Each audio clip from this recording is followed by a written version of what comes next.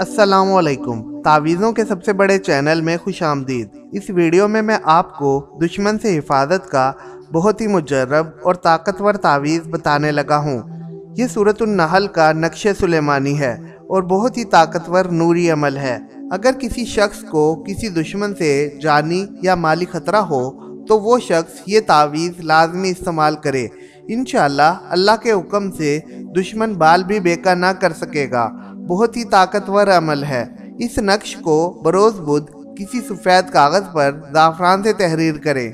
फिर इस नक्श को मोम जामा करके वो बहन या भाई पहने, जिसको किसी दुश्मन से जानी या माली ख़तरा हो। इसके अलावा हर जुमेरात को सदका लाजमी दिया करें। बहुत ही ताकतवर तावीज़ है। इस तावीज़ की चाल आतिशी है। आतिशी चाल जानने और तावीज़ लिखने का तरीका जानने के लिए पहले कमेंट में मौजूद लिंक पर क्लिक करके वीडियो मुकम्मल देख लें। अमल की इजाज़त के लिए हमारा चैनल सब्सक्राइब करें, वीडियो को लाइक और शेयर करें। शुक्रिया।